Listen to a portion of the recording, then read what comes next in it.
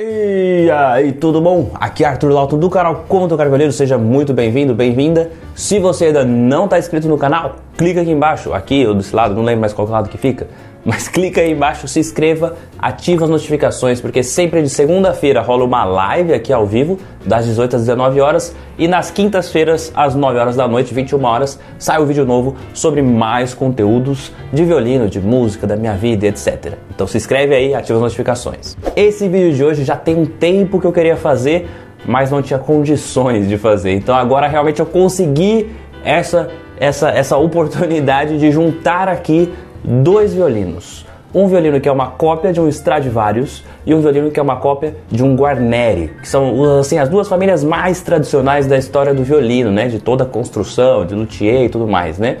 E eu tenho uma de cada aqui e a gente vai poder testar e ver as diferenças, o que, que é realmente essas questões todas sobre cópias de Stradivarius, de Guarneri, como funciona, né? Então, roda a vinheta aí e bora pro vídeo.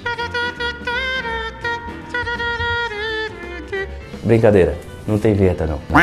Aqui estão os dois instrumentos aqui, ó. Chegaram tem pouquíssimo tempo. Os dois são cópias de bons instrumentos, né? O Guarneri é cópia daquele que é conhecido como canhão. É, realmente ele é conhecido assim, é The Cannon. e o Stradivarius é uma cópia de um outro violino Stradivarius também famoso que se chama The Cruise que é de 1721, se eu não me engano, esse violino, o original, né? Esses dois aqui foram feitos pelaquela oficina que eu já falei várias vezes aqui, que chama Liu Xi. São, assim, atualmente os melhores violinos de oficina chinesa, que são feitos à mão, tem uma série de luthiers trabalhando lá tal, e fica muito bom. São os violinos que eu mais recomendo, assim, de nível intermediário. E agora eu vou poder te mostrar as diferenças entre eles aqui. Será que realmente faz diferença ser uma cópia de um Guarneri ou ser uma cópia de Stradivarius?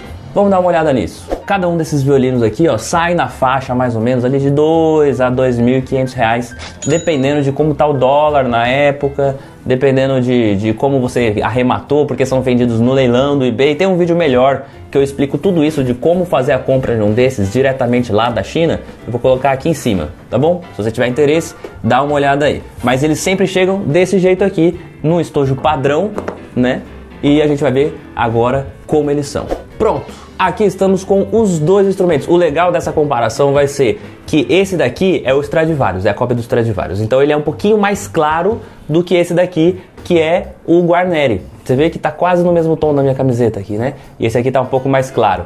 Então vai ter assim uma referência já visual para a gente saber qual que é qual, né? Assim, então esse mais claro é o Stradivarius, esse daqui mais escurinho é o Guarneri, certo? Bom já saber disso desde o começo. Agora você fala assim, ah, mas Arthur, então isso significa que um violino Stradivarius é mais claro do que o instrumento do Guarneri? Não porque aí que tem um grande negócio. Quando as pessoas falam assim, ah, é uma cópia de Stradivarius, é uma cópia de Guarneri, isso está falando que é em relação às medidas do instrumento, a como ele foi construído, mas não sobre a cor. Ele é uma cópia, não uma réplica. É diferente.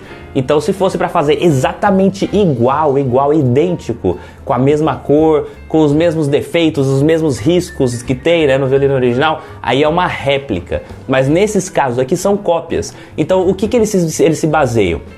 nas medidas, né? Existem padrões de medidas, então assim, pode mudar um pouquinho, sabe assim, por exemplo, a espessura do braço aqui, por exemplo, do Stradivarius para o Guarneri. Isso pode mudar um pouco. E aí, obviamente, tem todas essas questões de ser uma cópia e não uma réplica. Então, o verniz não necessariamente é dessa cor nos, nos violinos originais, né? No realmente no The Canon, no canhão e no The Cruise, né? E quer dizer, ao contrário, né? Esse é o The Canon, esse é o The Cruise, esse é o Guarneri, esse é o Stradivarius.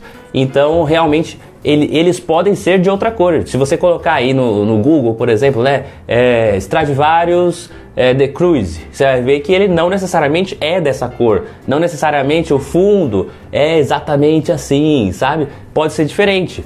O que, que são os padrões das cópias? As medidas. Então, todas as medidas desse violino, a largura aqui, ó, dessa cinturinha dele aqui, foi baseada na cópia daquele instrumento do Stradivarius. A largura desse daqui pode ser um pouquinho diferente, pode mudar 0,5 centímetros, sei lá, não sei, eu não medi, né? Mas pode ser um pouquinho diferente.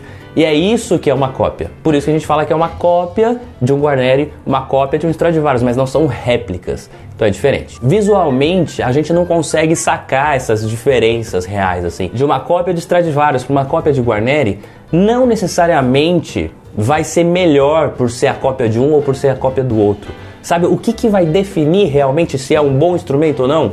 Quem fez ele.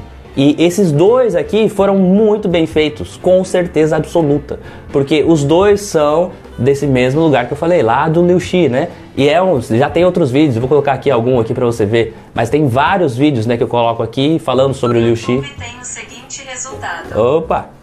Agora você me pergunta assim, mas Arthur, qual é melhor? A cópia do Stradivarius ou a cópia do Guarneri? Na verdade, essas questões mais técnicas, ah, medida ali, papapá, tal, isso não altera tanto assim no resultado final. Sabe o que, que vai alterar mesmo que vai falar se é um bom instrumento ou não é um bom instrumento? Quem fez o violino. Isso é muito mais importante. Não adianta assim pegar ah, a cópia do, do, do Guarneri, a cópia do Stradivarius e achar que vai ser ótimo só porque é uma cópia de um desses instrumentos famosos.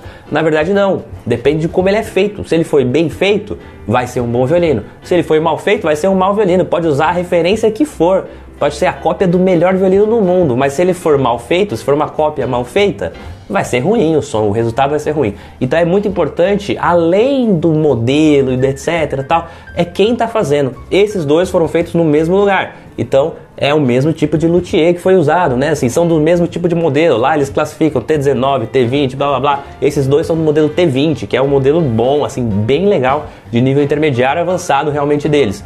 Então, os dois já tem dono, né? São de alunos que, que já pediram. E aí, como eu fiz a compra para eles, aí chegou aqui em casa, eu falei, pô, vou poder gravar para eles, né? E mostrando tal, essas coisas, e vou aproveitar para gravar realmente aqui o vídeo fazendo essa comparação. Mas o negócio aqui os dois são muito bem feitos. Então, se você tivesse esse, Stradivarius ou Guarneri, seria um ótimo instrumento, de qualquer jeito, porque foi muito bem feito, independente das medidas e padrões que eles usaram. Entendeu? Eu não vou entrar muito a fundo sobre a qualidade da construção e detalhes tudo mais, porque isso eu já falei em outros vídeos, né, do Liu Xi. Na frente essa madeira é bem riscadinha, né, no sentido vertical, assim, de cima para baixo, né? E de trás aqui, ó, eles são sempre bem rajados nesse sentido, né? No sentido horizontal. Todos eles têm madeiras de qualidade, são muito bem construídos, tudo muito certinho. Eu gosto muito desses violinos, são os violinos que eu tenho, sei lá, pelo menos uns 10, 15 alunos que usam violinos Liu Xi assim, já de nível intermediário avançado, né? Então são assim, é o segundo violino melhor para você ter na sua vida. Tipo, depois que você passou daquela etapa de ter um violino iniciante e tudo mais, blá blá blá, é, é, é, muito melhor você investir em um desse do que investir em um outro instrumento que seja de fábrica. Então, esses aqui são realmente o que eu, que eu recomendo para os meus alunos, né? Assim, de nível um pouco mais alto. Mas eu sei que o que você mais quer é ouvir, né, a diferença desses instrumentos, se tem realmente alguma diferença. E eu já te falo, eu já toquei nos dois aqui, eu já não, eu não sinto muita diferença não, assim, em questão de timbre, de qualidade do som, qualidade do violino, os dois são muito bons. Então isso só prova que na verdade o que importa é quem faz e não a referência que ele está usando e tudo mais. Isso é só uma questão de nomenclatura, né? Assim, para justificar as medidas que foram usadas. Mas os resultados sonoros são bons nos dois. Você vai ouvir já, porque esses violinos aqui vem só o violino mesmo, é para quem já toca, tal, assim, só vem só o violino, não vem o arco. Então é só para quem já realmente é de um nível intermediário para avançado, beleza? Então, ó, eu peguei aqui primeiro, eu tô com o Stradivarius. Já tá afinado, eu vou tocar aqui para você, para você ouvir um pouquinho do som dele.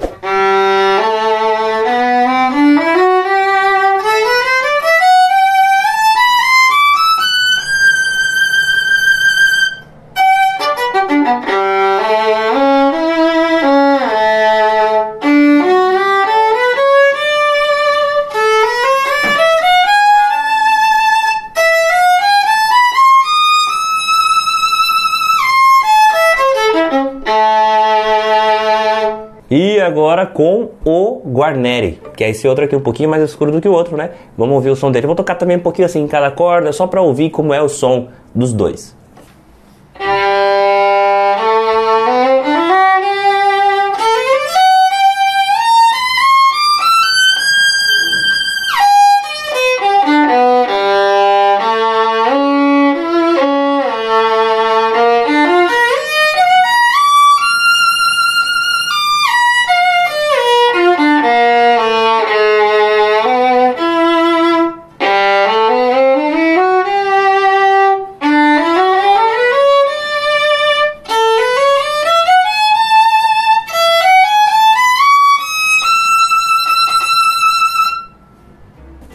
Agora você já ouviu os dois sons aqui. E aí, o que você achou? Assim, eu aqui que tô tocando, eu gostei muito dos dois, os dois são muito bons, os dois respondem muito bem. Eu gosto dessa característica que os violinos da lá do Liu Xi, eles têm esse, esse som grave mais presente, sabe? Assim que você toca e não fica aquele som é, forçado demais, sabe? Ele fica um som bem cheio, assim, mas não força. E já os agudos são bem claros, né? Nos dois, assim, você ouve os agudos e fica bem claro o som, né? Bem, bem fácil de distinguir, assim. Então, mas assim, no final, no resultado sonoro, eu não sei para você que tá ouvindo pelo, pelo microfone, né? Mas para mim aqui, o resultado sonoro dos dois é a mesma coisa, praticamente, assim, tipo, muda muito pouco de um pro outro aqui presencialmente, né? Tocando e tal. E a sensação tocando é gostosa nos dois, né? Assim, a tocabilidade, digamos assim, porque foi feito por luthier realmente que entende do, no negócio, né? Se fosse mal feito, quando você põe para tocar, você sente tudo meio estranho, sabe? Então aqui tá funcionando super bem porque foi bem feito. São duas cópias super bem feitas. Então tira um pouco esse negócio, sabe, da cabeça de ah, que Stradivarius é melhor que Guarneri, Guarneri é melhor que Stradivarius. A não ser que você for tocar realmente num Stradivarius ou em um Guarneri de verdade. Mas obviamente, assim, é mais difícil. Porque o último Stradivarius, por exemplo, foi vendido foi acho que 15 milhões. É, tipo, é impossível, né? A gente ter esse dinheiro para pagar, né?